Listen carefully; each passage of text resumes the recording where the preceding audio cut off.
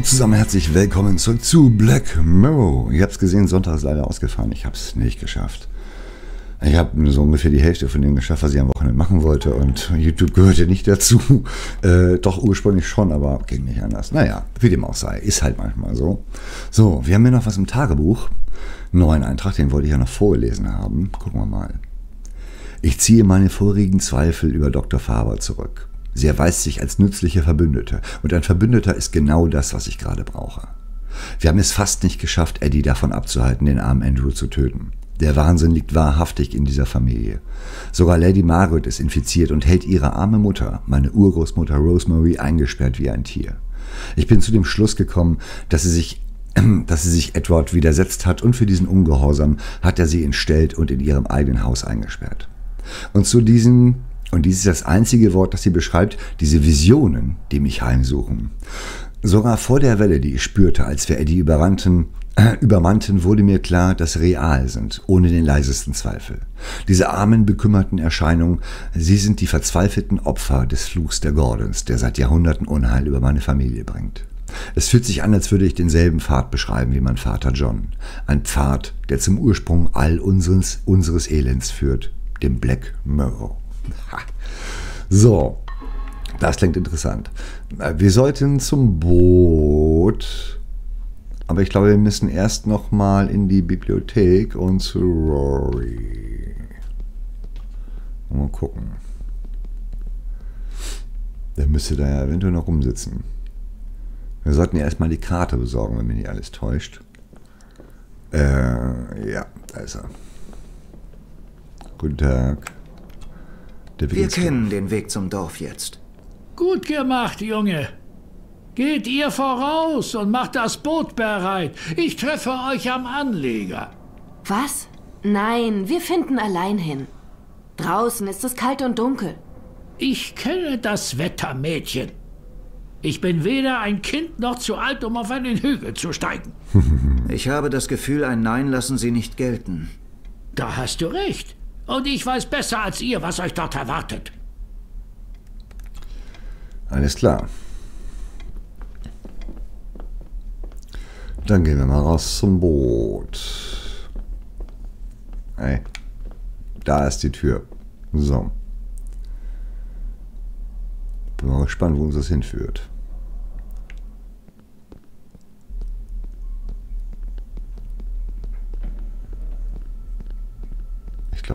Beste Weg, wenn wir hier durchgehen. Durch das Speisezimmer, ne? Das müsste doch hier oben sein. Boah, ich laufe voll die Schlangenlinien.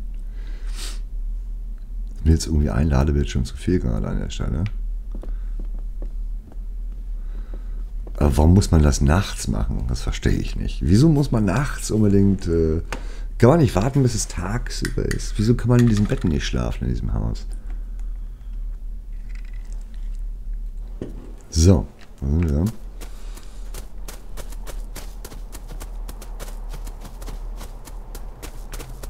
Nee, zum Boot geht's hier lang, ne? Da geht's zum Boot. Mal gucken. Aber der Karren war doch gar nicht funktionstüchtig, oder? So wie der da. So wie der da hing. Den hatten wir doch schon mal irgendwie angeguckt. Schieben. Dann schieb doch mal.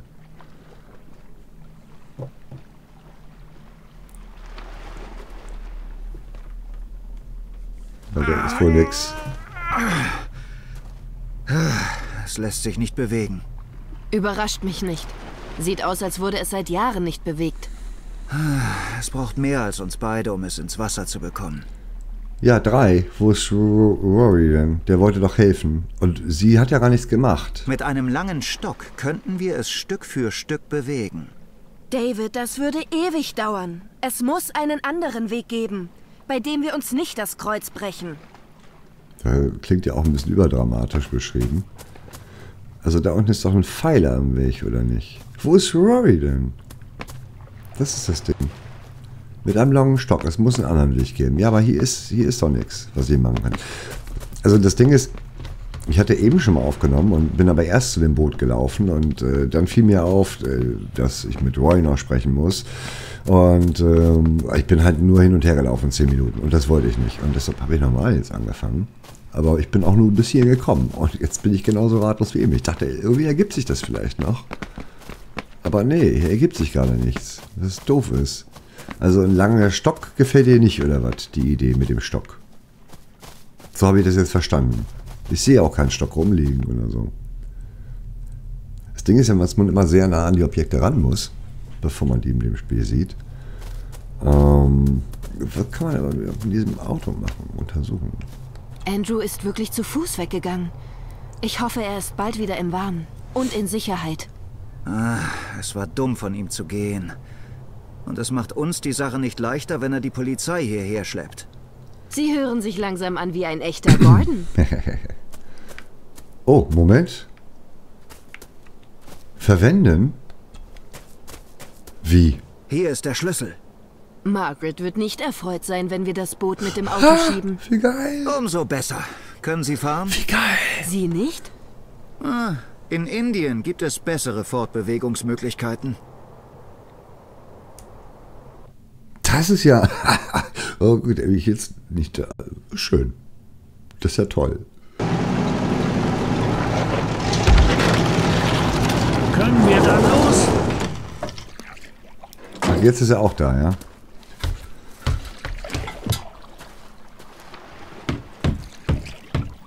Oh, ein paar tolle Thumbnails hier.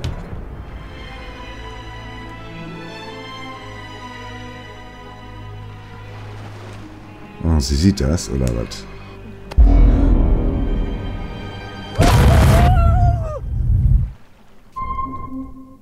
Das war doch Andrew. Da war doch so ein Tweet-Jacket. Das war doch eine Tweetjacke. Das kann doch nur Andrew gewesen sein. Ich meine, logisch, ist ja momentan der durchgeknallteste von allen, ne? Das, ich glaube, das war Andrew. Der Butler war das nicht. Ein trostloser Ort. Und so still. Still? Also hören Sie nichts? Wie es das Schicksal eines jeden ist, der sich dieser Familie widersetzt. Was denn? Stimmen. Schreie. Oh, Rory. Krieg ich das richtig mit? Ich weiß nicht. Ich glaube, ich höre etwas. Weit entfernt. Ein Vogel. Wir müssen weiter. Edward muss hier oben sowas wie ein Versteck gehabt haben. Vielleicht in der Nähe des Ortes der Macht, den er in seinem Tagebuch erwähnte. Wie wissen wir, ob wir richtig sind? Wenn die Schreie lauter werden, wissen wir das. Glitsch rüber. Man kann fast spüren, wie einen die Kälte dieses Ortes befällt. Das stimmt, Junge. Das spürt man. Ich war schon seit Jahren nicht mehr hier. Ich kenne mich hier nicht gut aus. Keine Ahnung, wo Edwards Versteck war. Okay. Ist alles in Ordnung, Rory? Es sind die verdammten Stimmen, Junge. Ich versuche sie auszublenden, aber sie sind laut, heftig. Wir suchen weiter. Ich gehe nirgends hin, Jungchen. Nee, das dachte ich mir schon. So, was mit Kein ihr? Zeichen von menschlichem oder sonst irgendeinem Leben. Die Architektur dieses Ortes. Die Tunnel, Hütten. Ach, Hätten wir doch mehr Zeit, uns gründlich umzusehen. naja. Also ich sehe hier nur einen kleinen Tunnel in der Wand. Kann man mit der Markierung, kann man Wir machen. sollten das Rory zeigen. Denn? Wie Questgegenstand hinzugefügt. Was soll ich denn jetzt für einen Gegenstand bekommen? Eine Sensenrune. So viel Wissen, das über die Jahrhunderte verloren gegangen sein muss. Okay. Komm. Hallo. Danke. Ja, glitsch noch mal wieder zurück. Wissen Sie, was das ist? Das kenne ich. Es ist ein Symbol, das die alten Druiden für ihre Rituale benutzten. Ja, Wir suchen weiter. Ich gehe nicht. Ja, ja. Das hilft dir. Das war ja, also das war ein nutzloser Dialog gewesen an der Stelle, oder? Wie seht ihr das? Oh, wir sollten erstmal speichern eben. Das ist, glaube ich, eine gute Idee, dass wir mal eben speichern. So.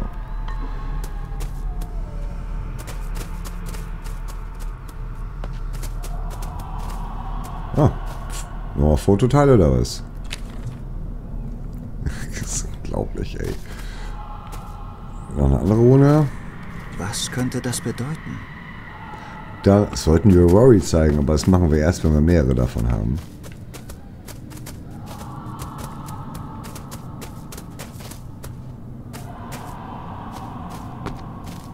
Es sieht jetzt schon verwirrend aus, wo man hier laufen kann.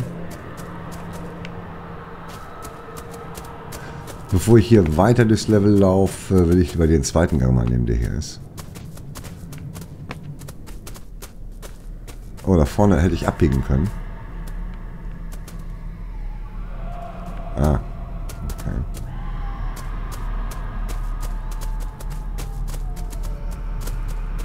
Und das aus dieser Third-Party-Perspektive, ne? Ist nicht angenehm.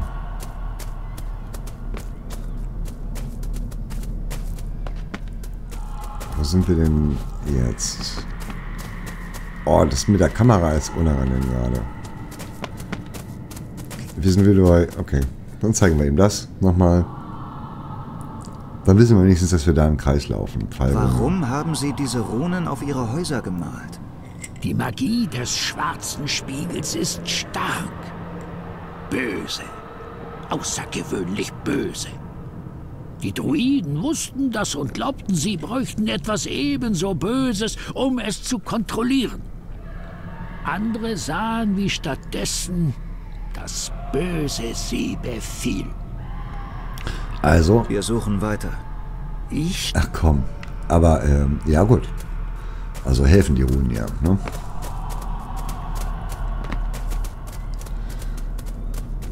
So, dann gehen wir hier mal weiter und ähm, hier rum.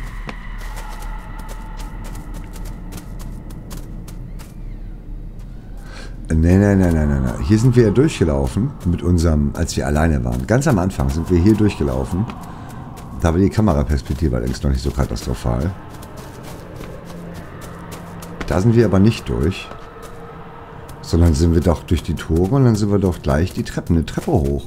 Oh ja, ja, ja, da ist noch was. Was auch immer das symbolisiert. Die Menschen dieses Dorfes glaubten wirklich an die Macht der Runen.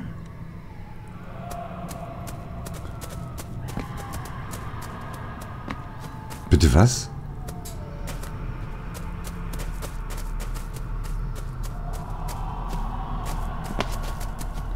Der ist doch hier gleich eine Treppe hochgelaufen.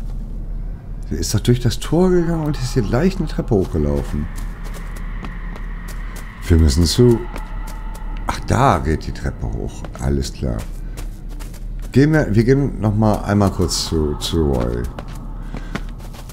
Ihr könnt euch nicht vorstellen, wie anstrengend das ist, gerade hier entlang zu laufen. Ich meine, ihr seht es ja vielleicht. Du bist total äh, äh, desorientiert, weil immer wieder die Kamera wechselt. Ich erwarte mir von dem Dialog jetzt gerade gar nichts. Dieses Symbol. Es erinnert mich irgendwie an die Steine, die Sie für Cecilia gemacht haben. zum Schutz.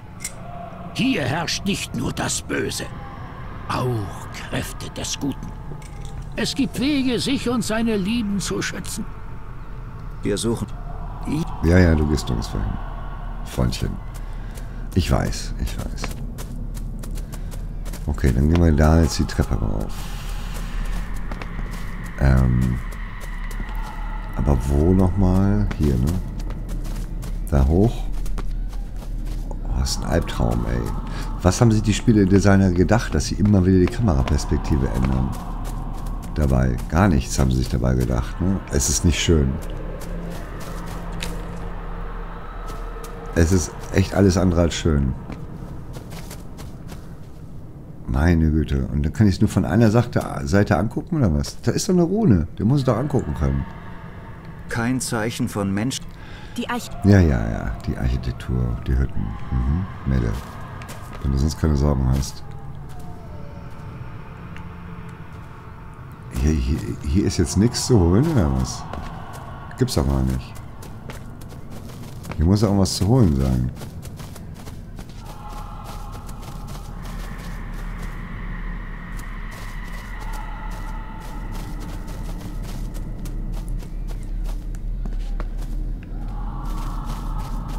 Hier geht's wieder runter, das will ich nicht. Wir gehen da hin.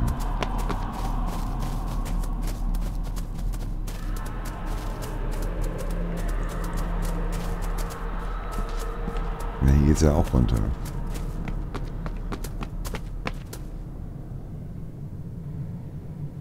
Ernsthaft?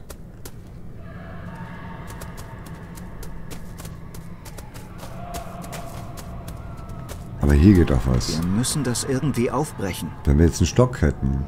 Öffnen, sprechen. Moment, was ist das? Nehmen.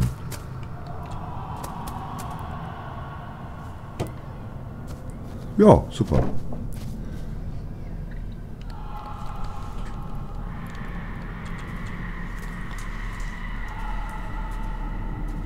Buh.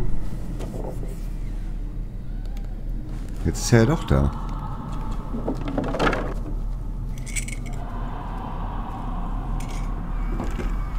Also schleicht er sich da so wortlos von hinten ran. Was zum... Hören Sie mich, Rory. Ist alles in Ordnung? Nein. Nein, Kindchen, nicht ich. Das ist nicht wahr. Ich wollte dich schützen. Ich wollte ihr doch nichts tun. Ich wollte... Er war doch noch ein Baby. Ein kleines Baby. Rory, Lassen Sie ihn, wir müssen weiter. Das sind gerade etwas merkwürdige Dialogaufbauten, finde ich. Irgendwie. Bin ein bisschen enttäuscht gerade. So, okay, das ist ein Versteck anscheinend. Ja, macht mal die Kerzen an. Dann zeichnet einen Kreis auf dem Boden und dann macht irgendwas Dummes daran. Okay, wenn ich die alle lesen kann, sieht das nach ziemlich vielen Texten aus. Diese Handschrift, die kenne ich. Das ist von Andrew. Andrew, der Anwalt? Hier hat er gearbeitet. Der Anwalt. Echt jetzt? Das ist ein Andrew tolles erwähnt Büro. immer wieder einen Ort in der Nähe. Das muss Edwards Ort der Macht sein.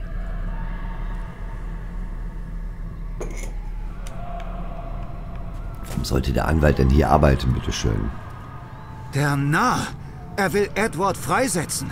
Seinen Geist aus dem Spiegel befreien. Glauben Sie, es ist auch möglich, Ihren Vater zu befreien? Vielleicht.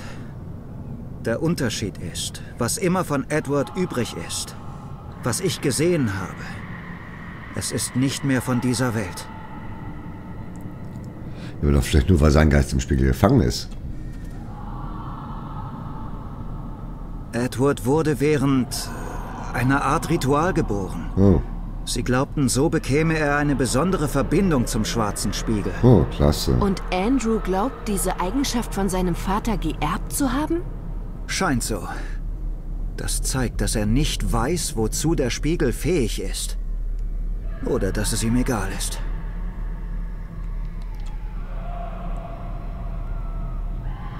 Es muss unter dem Haus einen Eingang geben, der zum schwarzen Spiegel führt. Nein, das wirklich? ist, Das was wussten wir Andrew aber schon finden längst. will. Aber das war uns doch schon klar vorher, oder nicht? Untersuchen. Ja, was denn? Oh, das Spiel backt. Er würde sich ganz gerne rüberglitschen, kann es aber nicht, weil er unten an dieser Holzlatte festhängt. Und ich bin jetzt immer in der Animation gefangen. Ohne Scheiß. Genau so ist das.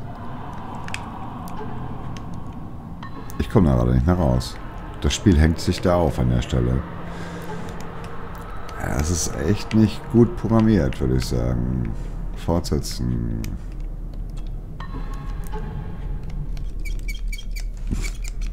Da muss man Gamepad mal ölen. Das war's. Echt jetzt? Leute. Das ist doch doof. Okay, ich. Äh, ah, so. Also wir sind jetzt bei 19 Minuten. Ich muss das jetzt normal eben machen. Äh, lohnt sich jetzt auch nicht danach nochmal was. Ach, okay, doch. Ja, aber die Dialoge. Pass auf, wir überspringen. Nee, wir machen das hier gleich. Wir machen das hier gleich mal zuerst. Ah, es geht nicht. Okay. Wir haben nochmal Fototeile aufgenommen. Okay, wisst ihr was? Ähm, ich mache das jetzt normal und ähm, dann sehen wir uns in der nächsten Folge wieder und dann wissen wir auch, was da auf dem letzten Diese Handschrift. Blatt steht, ne? Genau, machen wir das so. Okay, ich würde sagen, bis zum nächsten Mal. Tschüss.